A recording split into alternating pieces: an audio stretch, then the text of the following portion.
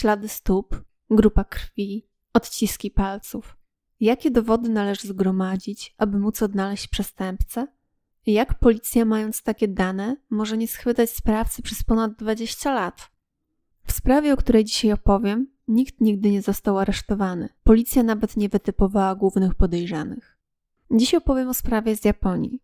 Nigdy nie uczyłam się tego języka, dlatego wybaczcie mi, jeśli popełnię jakiś błąd językowy w wymowie miasta czy nazwiska. Zapraszam do wysłuchania odcinka o morderstwie rodziny Miyazawa. Na światło dzienne.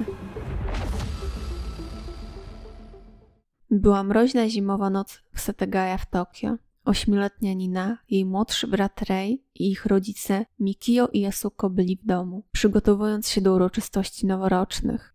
Koniec roku to jedna z najważniejszych okazji do świętowania w Japonii. Jest traktowane jako powitanie nowego początku. Japończycy nazywają ten dzień Omisoka i podczas niego zajmują się dokończeniem wcześniej niedokończonych spraw. Sprzątają, spłacają długi, wykonują rytuały wypędzenia złych duchów i pecha.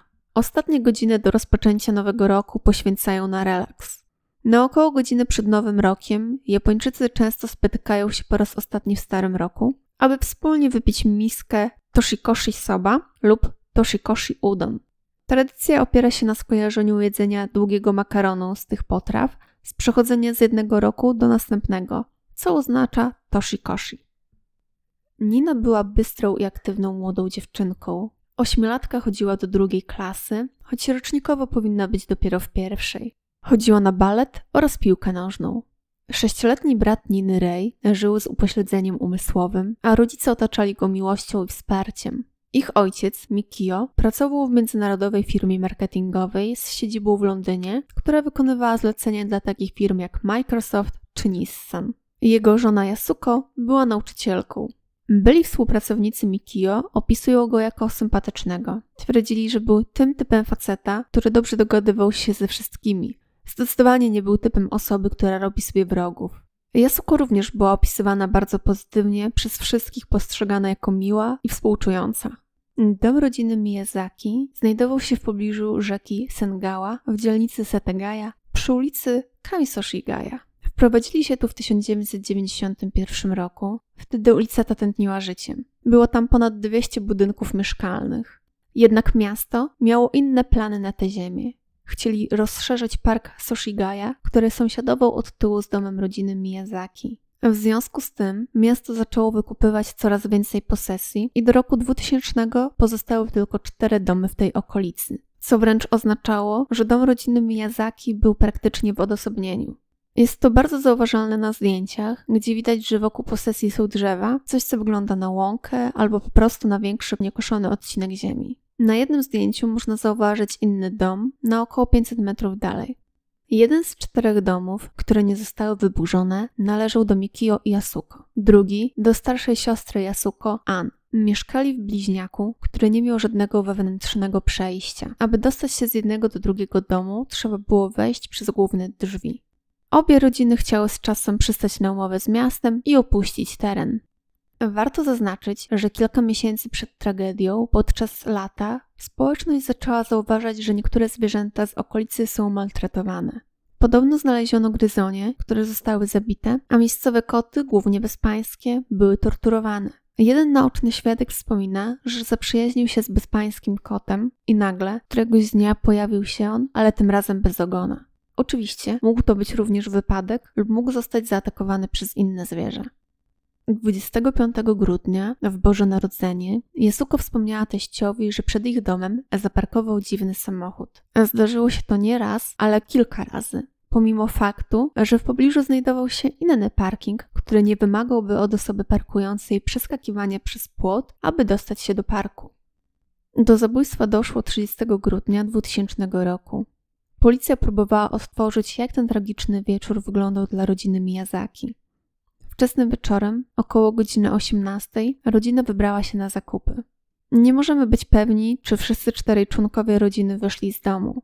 Naoczny świadek przypomniał sobie, że widział ich w pobliskim centrum handlowym mniej więcej w tym czasie. Sąsiad, który przejeżdżał obok ich domu tego wieczoru, przypomniał sobie, że około 18.30 samochodu rodziny nie było na podjeździe, co uwiarygadnia taką wersję zdarzeń. Około 19 tej nocy Yasuko zadzwoniła do swojej matki, która była w domu obok. Rodziny często rozmawiały ze sobą przez telefon. Była to zwykła rozmowa, którą często odbywamy z rodziną. Nie było to nic ważnego, co wzbudziłoby niepokój u matki Yasuko, która miała na imię Haruko. Krótko po tej rozmowie Nina poszła do domu obok, czyli do swojej babci, aby obejrzeć nagrany program telewizyjny. Była tam do mniej więcej 21.30, aż do tego momentu wieczór przebiegał bardzo normalnie dla rodziny Miyazawa. O 22.38 Mikio Miyazawa otworzył służbową pocztę e-mail, korzystając z domowego komputera. Ponieważ ten e-mail był chroniony hasłem, śledczy wywnioskowali, że Mikio musiał być osobą, która go otworzyła. To ostatni znany czas, kiedy Mikio wciąż żył. Około dziesiątej wieczorem świadek idący parkował ścieżką za domem Miyazawa usłyszał coś, co brzmiało jak kłótnia tocząca się wewnątrz domu. Nie przypomniał sobie żadnych głośnych dźwięków fizycznych, ani szczególnie wstrząsających krzyków. Stwierdził, że brzmiało to tak, jakby para kłóciła się przed Nie wiem skąd takie porównanie, to są słowa świadka. Około półtorej godziny później członek rodziny Yasuko słyszał głośne walenie dochodzące ze strony budynku, w którym mieszkała rodzina Miyazawa. Nie byli pewni dokładnego czasu, ale byli w stanie oszacować go później na podstawie harmonogramu programów telewizyjnych w tamtym czasie, że było to około 23.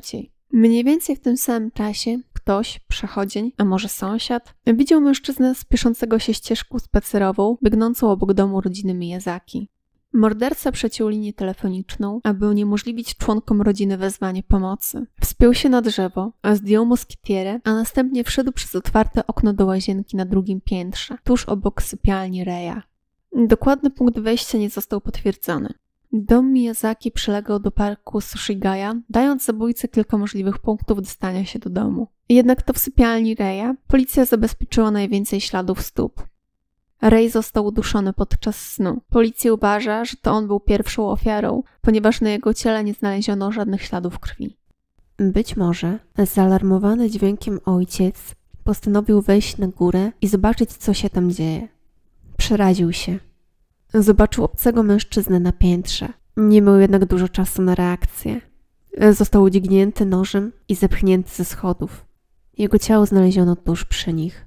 Posiadał wiele ran kłutych, głównie w okolicy ud i pośladków, ale również na obu ramionach, klatce piersiowej i twarzy. Jako przyczynę śmierci uznano utratę krwi w wyniku ran kłutych klatki piersiowej. W jego czaszce znajdował się fragment noża sashimi używany do krojenia sushi, który został skazany jako narzędzie zbrodni. Ostatnie ofiary to Yasuko i Nina, czyli matka z córką. Prawdopodobnie zasnęły razem podczas oglądania telewizji. Były na strychu, na który wchodzi się po składanej drabinie, znajdującej się na drugim piętrze blisko łazienki. Obie były wielokrotnie pchnięte nożem, głównie w okolicy twarzy i szyi. Najpierw złamanym nożem do sashimi, a potem uniwersalnym nożem kuchennym.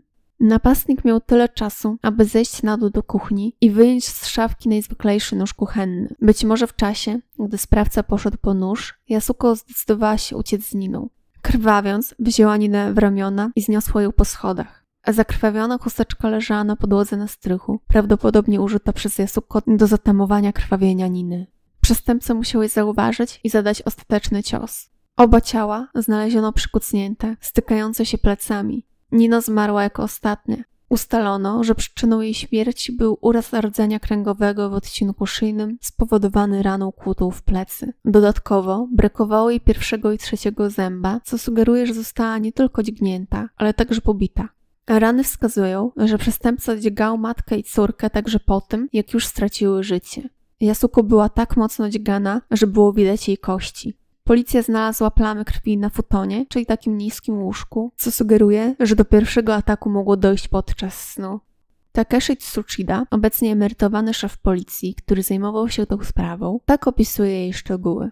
Ciął ich od klatki piersiowej do twarzy, jakby ich torturował. To było niezwykle brutalne, a sposób, w jaki ich wykończył na samym końcu, to było tak przerażające. Nie mogliśmy pokazać tych blizn rodzinom z rozpaczonych ofiar. Nie znam innych przypadków, w których ofiary zostały pocięte w ten sposób. Po zabiciu rodziny sprawca udał się do kuchni Miyazaki. Wyjął z lodówki kilka małych kubeczków lodów. Nie użył łyżki, a zamiast tego ścisnął pojemniki do góry i zaczął gryźć lody. Nie wiem, jak policja ustaliła aż takie szczegóły. Jeśli ktoś z Was wie, jak można to zbadać, to prośba o pozostawienie komentarza. Zwłaszcza, że sprawca mógł mieć łyżeczkę ze sobą. Do picia wybrał herbatę jęczmienną, ignorując kole i piwo pozostawione w lodówce. W kuchni znalazł również plaster, którego użył do zaklejenia rany na prawej ręce. W pewnym momencie zaczął grzebać w rodzinnych dokumentach z magazynu na pierwszym piętrze. Wyciągnął wszystkie szuflady jedną z nich zaniósł do łazienki na drugim piętrze. Wrzucił zawartość do wanny. Postąpił podobnie z rzeczami osobistymi z dwóch torebek Yasuko, a także portfelem Mikio i kluczami do domu. Być może czegoś szukał, a może po prostu spędzał czas przed wyjściem z domu ofiar. Do wanny wrzucił również biały ręcznik, wysmarowany krwią sprawcy, czyli swoją, i pusty kubek po lodach. W międzyczasie skorzystał też z toalety, nie spłukując po sobie wody. Niespłukany kał znaleziony w łazience na piętrze zawierał ślady sezamu i fasolki szparagowej, co wskazuje nam, co sprawca jadł wcześniej tego dnia. To, co wiemy na pewno, to że przestępca wciąż był w domu Miyazawy o pierwszej w nocy. O pierwszej 18 w nocy połączył się z internetem za pomocą komputera Mikio. W ciągu pięciu minut użytkowania stworzył nowy folder i odwiedził stronę internetową teatru. Strona została dodana do zakładek przez Mikio. Nie wiemy o jego późniejszym miejscu pobytu. Jednak pewne jest to, że przebywał w domu przez wiele godzin, podczas gdy rodzina leżała martwa. Wiele przedmiotów wrzucił chaotycznie do wanny, jednak zakrwawione ubrania, które miał na sobie w momencie zbrodni, starannie odłożył na kanapę w salonie. Wśród ubrań, które zostawił, był szalik. Policji nie udało się namierzyć, kto go wyprodukował i gdzie był sprzedawany. Z informacji, które otrzymali, wynika, że najprawdopodobniej był rozdawany gratis w miejscach takich jak centra i salony czy sklepy z mundurami. Szalik był już mocno zużyty. Sprawca zostawił także buty brytyjskiej marki Slangers, ten konkretny model produkowali w Korei Południowej, a sprzedawali zarówno w Korei Południowej, jak i Japonii. Jednak tylko w Korei dostępny był ten rozmiar. To jeden z dwóch przedmiotów pochodzących z Korei Południowej, ale o drugim opowiem na końcu. Kolejnym pozostawionym elementem garderoby była cienka bluza. W Tokio tylko 10 z nich zostało sprzedanych w nieczynnych już sklepach N/X. Nawet jeśli policzymy sprzedaż w całym kraju, liczba ta zatrzymuje się na zaledwie 130 sprzedanych sztukach kieszeni bluzy znaleziono ślady ptasich odchodów, brzostownicy i liści wierzby. Reszta pozostawionego stroju składała się z szarej dzianinowej czapki typu bucket, czarnej ocieplanej kurtki Uniqlo i czarnych rękawiczek w rozmiarze uniwersalnym. Czapka była sprzedawana od września 1999 roku do listopada kolejnego roku. Kurtka w rozmiarze L pochodziła z 2000 roku i była dostępna w sklepach od września tego roku. Rękawiczki były produkowane przez japońską markę Edwin i można je było kupić w latach 1998-2000. Na butach sportowych i torbie pozostawionej na miejscu zdarzenia znaleziono trzy rodzaje wzmocnionego barownika fluorescencyjnego. Część ubrań pachniała Dakar Noir, francuskimi perfumami sprzedawanymi w Japonii od 1982 roku. Na kanapie leżały także dwie czarne chusteczki do nosa, wyprodukowane przez japońską markę Miuji. Jedna z nich najprawdopodobniej została użyta przez przestępcę do owinięcia rękojeści noża służącego do zabójstwa. Chusteczka miała 3 cm rozcięcie po środku. Według informatorów tokijskiej policji, technika ta jest stosowana przez chińskich pracowników przetwórni ryb, aby zapobiec ślizganiu się noża podczas czyszczenia owoców morza. Ostatnim przedmiotem znalezionym na miejscu zbrodni była saszetka. Wskazała ona na to, że napastnik był szczupły, ponieważ pozostawiona przez niego saszetka biodrowa wskazywała, że jego talia miała od 70 do 75 cm. Była równie mocno zniszczona, tak jak szalik. Znajdowały się w niej ślady piasku pochodzącego rzekomo z południowo-zachodniej części Ameryki Północnej, a dokładniej z bazy sił powietrznych Edwards w Kalifornii. Niektóre ze ziarenek piasku były także ze skateparku tego, obok którego znajdował się dom Miyazaki. Mikio był wcześniej widziany, jak kłócił się ze skateboardzistami w pobliżu swojego domu. I to według świadka z niebyle jakimi nastolatkami, a chłopcami należącymi do Bosozoku, japońskiego gangu motocyklowego. Inne źródło podaje, że wśród dowodów znalezionych na miejscu zbrodni były cząsteczki gleby pochodzące z południowo-koreańskiej prowincji Gyeonggi, która obejmuje obszar otaczający Seul. Co ciekawe, chociaż niektóre japońskie gazety wspomniały o tym piachu w saszetce, nie ma o tym żadnych informacji na stronie internetowej Departamentu Policji Metropolitalnej w Tokio, co może wskazywać, że informacja nie jest do końca pewna. Saszetka wyglądała na mocno zużytą. Mieściła w sobie notatnik A5 i była sprzedawana w Japonii od września 1995 do stycznia 1999 roku. Kosztowała niecałe 30 dolarów i była produkowana w Korei. W testach ultrafioletowych znaleziono ślady czerwonego środka fluorescencyjnego, a także ciemne kosmyki włosów sprawcy, co pokazało policji, że miał ciemnobrązowe lub czarne krótkie włosy. W noc zabójstwa w pobliżu domu Miyazawy taksówkarz zabrał trzech pasażerów. Byli to mężczyźni w średnim wieku i przez całą podróż zachowali ciszę. Taksówkarz wspomniał to jako bardzo dziwne, ponieważ było już dobrze po północy, a trzej mężczyźni wysiedli na pobliskiej stacji metra. Jeden z nich najwyraźniej był ranny, bo zostawił plamę krwi na tylnym siedzeniu taksówki. Jednak do tej pory śledczy nie wypowiedzieli się na temat tego tropu. W dniu morderstwa naoczny świadek zeznał, że widział obcego mężczyznę w pobliżu domu Miyazawa. Według opisu mężczyzna miał na sobie szary, pleciony kapelusz z czarną linią, saszetkę, szalik we wzory w kolorze zielonym, czerwonym, czarnym, pomarańczowym i granatowym. Do tego czarną kurtkę Uniqlo, rękawiczki także w tym samym kolorze. T-shirt z długimi rękawami i białe buty Schlesinger, co pokrywa się z rzeczami pozostawionymi na miejscu zdarzenia. 31 grudnia rano Haruko, czyli matka Yasuko, chciała zadzwonić do rodziny, jak miała to w zwyczaju. Jednak tym razem nie mogła się dodzwonić, ponieważ telefon był rozłączony. To był pierwszy sygnał, że coś jest nie tak. Haruko poszła więc do swojej córki i zapukała do drzwi. Znowu nic. Wyjęła swój klucz i otworzyła drzwi. Od razu zobaczyła swojego martwego zięcia Mikio, leżącego na dole schodów w pobliżu drzwi wejściowych. Haruko poszła na górę, gdzie znalazła swoją córkę i wnuczkę brutalnie i wielokrotnie dźgnięte. Dotykała ich, desperacko szukając jakichkolwiek oznak życia. W sypialni Reja, tuż za rogiem, Haruko znalazła sześciolatka wciąż w swoim łóżku. Po takim makabrycznym odkryciu kobieta szybko wróciła do siebie, aby zawiadomić policję o zdarzeniu. Policja znalazła na miejscu zbrodni apteczkę, która została otwarta, prawdopodobnie przez Yasuko i Ninę podczas ataku. Na niektórych kawałkach bandaży z apteczki znaleziono krew ośmioletniej Niny. Oprócz bandaży z apteczki znaleziono także ręczniki i podpaski damskie z nieznaną krwią. Dla detektywów było to zaskakujące odkrycie. Uwiarygodniło scenariusz, że Mikio walczył z napastnikiem na schodach, co prawdopodobnie spowodowało obrażenia u napastnika, które wymagały jego własnej szybkiej pomocy medycznej. Tego samego dnia, mniej więcej 6 godzin po znalezieniu ciał, młody mężczyzna został przyjęty do centrum medycznego na stacji Tobunikko. Stacja Tobunikko znajduje się około 160 km na północ od dzielnicy Setagaya, w której doszło do tragedii. Przebycie takiego dystansu to około 2 godziny samochodem oraz 3,5 komunikacją publiczną. Mężczyzna zgłaszający się na pogotowie został opisany jako około 30-letni. Został przyjęty bez podania nazwiska ani przyczyny obrażeń. Prawdopodobnie płacił gotówką za wizytę, dlatego nie musiał podawać danych. Sam uraz był raną dłoni, która najwyraźniej była na tyle poważna, że odsłoniła kość. Personel na miejscu zdarzenia był zaskoczony, jak nonszalancko mężczyzna traktował ranę. Uznali jego zachowanie za bardzo podejrzane. Poszkodowany miał na sobie czarną puchową kurtkę i dżinsy. Mimo niepodania żadnych informacji o sobie, mężczyzna został opatrzony, a następnie zwolniony przez personel medyczny, który nie słyszał jeszcze o tragedii. Możliwe, że była to jedyna szansa policji na schwytanie napastnika. Do napadu doszło około godziny 23.30. Historia użytkowania komputera pokazała, że od tego czasu dostęp do internetu był uzyskiwany dwukrotnie o godzinie 1.18 i 10.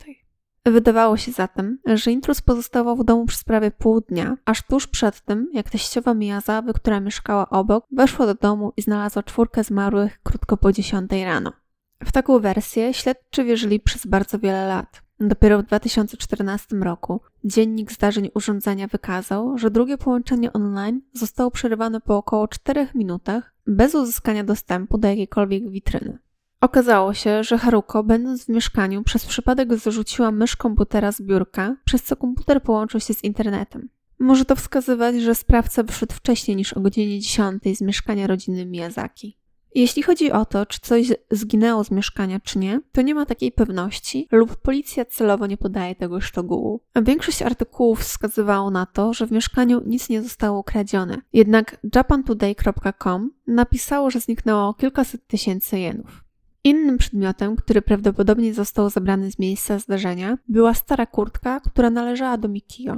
W 2005 roku, po odkryciu potencjalnego pochodzenia napastnika, japońska policja zwróciła się do Korei Południowej o pomoc w ustaleniu sprawcy. Była to pierwsza tego typu prośba, ale ostatecznie została odrzucona przez rząd Korei Południowej. Policja ma odciski palców i DNA zabójcy, które jak dotąd nie odnotowały żadnych trafień w tokijskich policyjnych bazach danych. Wiedzą, że bluza, którą zostawił sprawca, została wyprodukowana i sprzedana tylko 130 razy, ale funkcjonariuszom udało się wyśledzić tylko 12 właścicieli. Dzięki śladom stóp wiedzą, że jego buty prawdopodobnie zostały wyprodukowane w Korei w rozmiarze, który nigdy nie był sprzedawany w Japonii. Wiedzą nawet, że poprzedniego dnia zjadł fasolkę szparagową i sezam, bo zostawił odchody w łazience. Nóż, którym zabito ofiary, prawdopodobnie został zakupiony w prefekturze Kanagawa, czyli jednej z dzielnic Japonii. Wydawać by się mogło, że z takimi danymi będzie łatwo złapać podejrzanego. Słyszy się o sprawach w USA, gdzie dzięki genetycznej bazie danych udaje się dotrzeć do zabójców nawet po wielu latach. Między innymi dlatego, że ich bliscy krewni dodają swoje DNA do bazy i z tego miejsca jest już niewielki krok do znalezienia sprawcy. Jednak w Japonii tego typu praktyki nie są popularne. Po latach wątpliwości budzi także to, czy napastnik wszedł oknem do domu. A to dlatego, że na oknie nie zostały żadne ślady tkanin z ubrania napastnika. Jedyną inną drogą było wejście frontowe. Problem w tym, że te drzwi były zamknięte. Aby ta teoria była wiarygodna, mordercą musiałby być znajomy rodziny, taki, którego wpuszczono by nawet późnym wieczorem. Zwolennicy tej teorii wskazywali, że pozostawione ślady krwi szły tylko w górę, zaczynając się od środka schodów pierwszego piętra. Gdyby przestępca nie był intruzem, ale kimś, kto został zaproszony do środka, oczekiwano by, że zdejmie buty przy wejściu do domu, według kultury japońskiej. Niektórzy twierdzą, że krwawe ślady stóp można wytłumaczyć śliskimi schodami, które były na tyle problematyczne, że napastnik musiał nałożyć zdjęte wcześniej buty. Jeśli chodzi o sposób dostania się napastnika do domu, to początkowo babcia Haruko, która znalazła ofiary, powiedziała policji, że otworzyła drzwi zapasowym kluczem. Ale w późniejszych latach nie była już tego taka pewna. To znacznie utrudniło dokładne potwierdzenie, w jaki sposób zabójca wszedł i wyszedł. W ten czy inny sposób napastnik musiał użyć okna. Policja zauważyła, że okno w łazience było otwarte, a moskitiera usunięta i leżała na zewnątrz. Dodatkowo pod oknem znaleźli ślady stóp wielkości zbliżonych do śladów sprawcy. Zakłada się, że także połamał gałęzie drzew w pobliżu ogrodzenia parku. Takeshi Tsuchida, emerytowany szef policji, który zajmował się tą sprawą, powiedział: Nic nie wydaje się mieć sensu. Zabójca przyniósł rękawiczki, ale od początku dokonywał zabójstw gołymi rękami. Zazwyczaj, gdyby działał z premedytacją, zabójca założyłby rękawiczki. Dziwne wydaje się też to, że zamiast survivalowego noża wybrał smukły nóż służący do krojenia sashimi, zwany Yanagiba Hocho. Jego ostrze nie nadaje się do dźgania ludzi. Odciski palców zbadano ponad 5 milionom osób. Sąsiadom, wszelkiego rodzaju przestępcom, przyjaciołom rodziny, byłym mieszkańcom tej ulicy, a także pacjentom szpitali z ranami na rękach. Policja próbowała również testów DNA z miliona 300 tysięcy prób. Żaden z nich nie pasował. Może nam się wydawać, że ta liczba jest ogromna, jednak w Japonii w pierwszym kwartale 2023 roku mieszkało 124 miliony osób, więc testy DNA czy odciski palców to jedynie promil przybadanych osób. Ponieważ w trakcie dochodzenia nie udało się ustalić motywu zabójcy, policja nie może zawęzić zakresu swoich działań. Dlatego teraz przejdźmy do potencjalnych motywów zabójstwa kłótnia lub bardziej konflikt Mikio ze skaterami, którzy korzystali z pobliskiego parku. Za tym przemawia sposób, w jaki rodzina została zabita. Jedynie Rei został uduszony i jego śmierć była szybka. Nina i Yasuko zostały dźgnięte w twarz. Tym, co czyni tę teorię bardziej wiarygodną jest fakt, że z dziesięciu rzeczy pozostawionych przez intruza, pięć można było kupić w pobliżu stacji Ogi Kubo, czyli znajdującej się blisko skateparku. Policja sądzi, że sprawca mógł mieszkać w zachodniej części Tokio i przemieszczać się metrem, co wskazuje, że mógł mieszkać niedaleko parku Soshigaya. Dodatkowo, w trakcie śledztwa wyszło na jaw, że Mikio kłócił się ze skaterem w pobliskim parku w okresie poprzedzającym jego morderstwo. Ubranie zabójcy i przypuszczalny wiek mogą sugerować, że był to niezadowolony skater, zmęczony skargami sąsiadów na hałas, który wziął sprawy w swoje ręce. Ale są też inne, bardziej dziwaczne teorie. Jak ta, że sprawcą jest amerykański żołnierz. Obecnie w Japonii stacjonuje około 50 tysięcy amerykańskich żołnierzy. Amerykańska obecność wojskowa w Japonii jest stała od zakończenia II wojny światowej i niestety w tym czasie amerykańscy żołnierze, marines, marynarze i lotnicy popełniali gwałty i morderstwa. Biorąc pod uwagę tę paskudną historię oraz fakt, że ślady znalezione na miejscu zbrodni wskazywały na wieloetniczny profil genetyczny podejrzanego, pojawiły się dwa tropy co do tego, kim może być. Niektórzy sugerowali, że zabójcą był albo amerykański żołnierz, albo jakiś wykonawca pracujący w pobliskiej amerykańskiej jednostce wojskowej. Amerykańskiemu żołnierzowi nie byłoby trudno dotrzeć do domu Miyazawa z Tokio, ponieważ dom rodziny znajdował się w pobliżu kilku stacji metra, z których większość miała połączenie z centrum Tokio. Inną teorią jest to, że sprawcą również jest żołnierz, ale z Korei. Testy kryminalistyczne ubrań pozostawionych przez zabójcę na miejscu zbrodni wykazały, że były one prane twardą wodą, bogatą w minerały. Takiego rodzaju wody używa się powszechnie do czyszczenia ubrań w Korei Południowej, jednak jest to rzadkością w Japonii. W 2015 roku japoński autor True Crime Fumio Ichigashi wydał książkę, w której twierdzi, że odkrył tożsamość zabójcy. Autor zauważył, że policyjni detektywi znaleźli ziemię na miejscu zbrodni, która pochodzi z prowincji Gyeonggi w Korei Południowej. Również w swojej książce Ichihashi, który nazywa swojego głównego podejrzanego R, twierdzi, że zabójca służył kiedyś w armii Korei Południowej. Książka Ichihashi wskazuje, że odciski palców R, które uzyskał autor, pasują do odcisków palców pozostawionych przez zabójcę na miejscu zbrodni. Niektórzy spekulują, że intrus ma wojskowe pochodzenie ze względu na jego styl chodzenia. Małe kroki stawiane plecami do ściany. Jednak według jednego ze śledczych mógł tak chodzić po prostu, aby uniknąć poślizgnięcia się z zakrwawionych schodów, co przeczy teorii o tym, że to wojskowy. Nie można wykluczyć motywu rabunkowego. Rodzina mogła posiadać pieniądze z odszkodowania wypłaconego za rozbudowę pobliskiego parku. Jedno ze źródeł wskazuje, że prawdopodobnym jest, że z mieszkania zniknęło 150 tysięcy jenów, czyli około 1000 dolarów. I z jednej strony możemy powiedzieć, że to nie są pieniądze, za które ktoś zabije aż cztery osoby. Jednak wszyscy, którzy słuchają True Crime, są zapewne w stanie wskazać przynajmniej jeden przypadek, gdzie zabito za o wiele mniejszą sumę. Zwłaszcza, że sprawca mógł nie zdawać sobie sprawy, ile pieniędzy faktycznie jest w domu. Jednak ten motyw może zostać odrzucony przede wszystkim dlatego, że nie zginęła cała gotówka. Jak na kogoś, kto się nie śpieszył, a jego celem byłby rabunek, to sprawca nie zabrał wszystkich pieniędzy. Zostawił około 190 tysięcy jenów i walutę obcą na łączną kwotę 5 tysięcy jenów, czyli łącznie około 1300 dolarów. Sposób zabijania był również bardzo przesadny. Jeśli to było przypadkowe zabójstwo, dlaczego miałby zabijać jasokojniny, które spały na strychu i możliwe, że niczego nie słyszały? Jedną z najbardziej kontrowersyjnych teorii podanych w prasie jest ta z japońskich mediów. Została napisana przez dziennikarza już wspomnianego wcześniej Fumio Ichihashi, opowiada o zaangażowaniu Miyazawy w koreański Kościół Zjednoczony. Ponieważ nie chcieli sprzedać swojej ziemi kościołowi, zostali zamordowani przez płatnego zabójcę. Dziennikarz śledczy spędził lata badając sprawę i napisał książkę, w której stwierdza, że zabójca był byłym żołnierzem armii Korei Południowej, który stał się zabójcą do wynajęcia. Uważa, że jednym z czynników motywujących zabójcę była próba kradzieży pieniędzy z odszkodowania wypłacanego rodzinie za rozbudowę pobliskiego parku. Ponieważ przestępca zostawił swoje noże, ubrania, torbę, odciski palców, odciski dłoni i stóp, nie mogłem oprzeć się myśli, że jest przekonany, że nie zostanie złapany. Powiedział Ichikashi. Moja interpretacja była taka, że przestępca nie był Japończykiem, nie mieszkał w Japonii i natychmiast uciekł za granicę. Policja otrzymała dwie informacje od świadków o potencjalnym napastniku. Pierwsza pochodziła od kobiety, która twierdziła, że jechała samochodem w pobliżu miejsca zbrodni, gdzieś po 23.30. Nagle zauważyła mężczyznę, który wybiegł z sąsiedztwa domu Miyazawy i skoczył przed jej samochód. Udało mu się ominąć jej pojazd i uciekł. Ta informacja została zdementowana przez policję, ponieważ nie znaleźli śladów krwi na ulicy. Drugi świadek zobaczył potencjalnego napastnika dzień po morderstwie w Nikko, mieście w Japonii, które dzieli od Tokio 150 km. Mężczyzna z raną na ramieniu został zauważony na stacji Tobuniko, około 2-3 godziny drogi od Setagaya.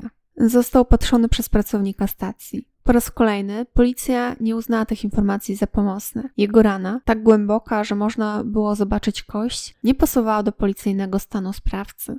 Miejsce pobytu napastnika jest więc nieznane. Policja podobno posiada jego zdjęcie sprzed morderstwa. Został zauważony przez kamerę supermarketu w pobliżu północnego wyjścia ze stacji Kitsioji, dwie stacje od Ogikubo. To tutaj zakupiono narzędzie zbrodni. Jednak w internecie to zdjęcie nie jest do znalezienia, co moim zdaniem może oznaczać, że jest to po prostu fałszywa informacja. W 2015 roku kwota, jaką można było otrzymać za pomoc w sprawie, wynosiła 20 milionów jenów, czyli prawie 600 tysięcy złotych. Prawie 250 tysięcy śledczych pracowało nad tą sprawą, otrzymując ponad 16 tysięcy wskazówek od opinii publicznej. I na tym kończą się znane fakty w tej historii. Od dnia zabójstwa czteroosobowej rodziny Miyazaki minęły już 23 lata. Nad sprawą pracowało kilkaset tysięcy osób, które posiadały mnóstwo dowodów. Mimo tego sprawca dalej żyje na wolności. Co jeszcze można było zrobić, aby złapać zabójcę? Czy kiedyś zostanie zatrzymany i poznamy prawdę o tym okrutnym czynie? Czekam w komentarzach na Wasze odpowiedzi i teorie. Dziękuję za wysłuchanie odcinka o morderstwie rodziny Miyazaki. Do usłyszenia w kolejnym odcinku.